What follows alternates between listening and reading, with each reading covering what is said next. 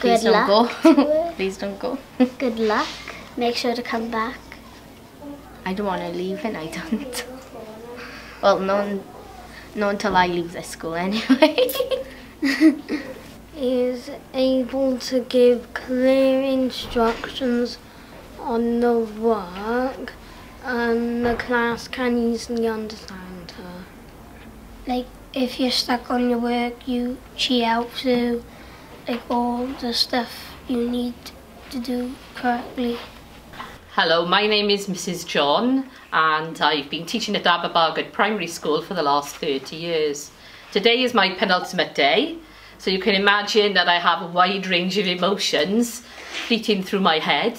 Um, obviously I'm, I'm happy that I'm retiring in some respects, but in other ways I shall really miss working with the learners at Aberbargoed Primary School. Uh, this is my current class. They've been fantastic learners throughout the whole year. I know I shall miss them dreadfully, but I have promised them that I will come back when they have their Leavers Assembly next year and also when they have their prom, which they certainly are looking forward to. My name's David Lewis and I'm the head teacher at Aberbargoed Primary School and I've known Mrs John for nine years now. Mrs John has worked at the school for 30 years.